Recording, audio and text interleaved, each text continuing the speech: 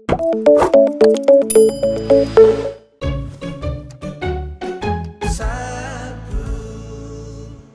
மற்ற கம்போசர்ஸ் பாடுற பாட்டே ஒரு மாதிரி இருக்கு. நீங்க ஜிவி பாடுற பாட்டெல்லாம் மட்டுமே கொஞ்சம் ஸ்பெஷலா பாடுவீங்களா? அந்த மாதிரி ஏதாவது இருக்கா? அப்படிலாம் இல்லை. எல்லாருக்கும் ஒரே மாதிரி தான் நான் பாடுவேன். It's depends on what the composer wants எப்படி வேணும். ஜிவியோட பாட்டெல்லாம் அவரே ரெக்கார்ட் பண்ணுவாரா? இல்ல நீங்க ஸ்டுடியோல போய் நீங்க அவர் நீ வராத ரெக்கார்ட் பண்ணுவீங்களா? நான் வந்து தயவுசெய்து அவர் இருந்தால் நான் ரொம்ப டென்ஷன் ஆயிடுவேன். அவர் வந்து சும்மா சும்மா இப்படி இப்படி முறைப்பாரு அப்படி திட்டிகிட்டே இருப்பாரா? அதனால எனக்கு பயமா இருக்கும். ஸோ ஐம் நாட் என்ன சொல்றது? உங்களை மட்டும் இல்ல. நாங்க போகும்போது அப்படி தான் திட்டுவாரு. அது ஜென்ரலா ஒரு மியூசிக் டைரக்டரா அவர் பிஹேவ் பண்றாரு. ஆமா. So, எனக்கு இன்னும் கொஞ்சம் ஜாஸ்தி வேணும். ஃபர்ஸ்ட் டேக்லேயே கரெக்டாக பாடணும்னு எதிர்பார்ப்பாரு. செகண்ட் டேக்ல வந்து இப்போ நீ என்ன பா- நீ பாட போறியா இல்லையா? அப்படி சொல்லி கேட்பாரா.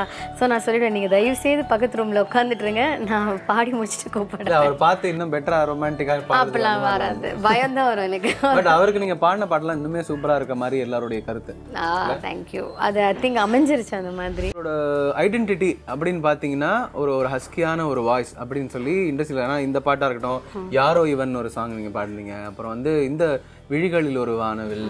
அந்த மாதிரி நிறைய பாட்டு இந்த பர்டிகுலர் ஹஸ்கியான ஒரு டோனில் ஸோ இந்த ஹஸ்க்கு வந்து ஃபஸ்ட்டு பாட்டுலேருந்தே இருந்ததா?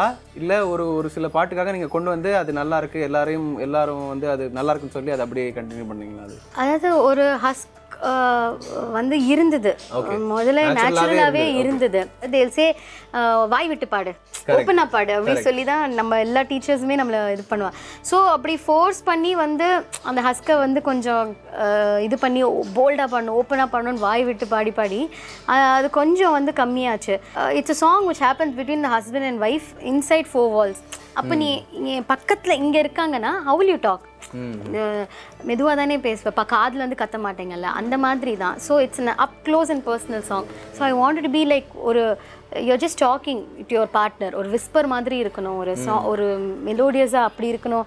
அப்படி ஒரு ஃப்ளோ ஈவன் ஜிவி சார் கூட ஹீ டோல் மீ ஃப்ளோயியாக இருக்கணும் ஒரு கிளாஸ் மாதிரி இருக்கணும். அப்படிலாம் டிஸ்கிரிப்ஷன் கொடுக்கும்போது ஆட்டோமேட்டிக்லி ஏற்கனவே இருந்தது தான் but I got a chance to you know use it for that song அதில் ஆரம்பித்து எல்லாரும் அதே பிடிச்சிக்கிட்டாங்க. நீங்களே அழுத சம்பவம் அந்த மாதிரி தான் இருக்கா?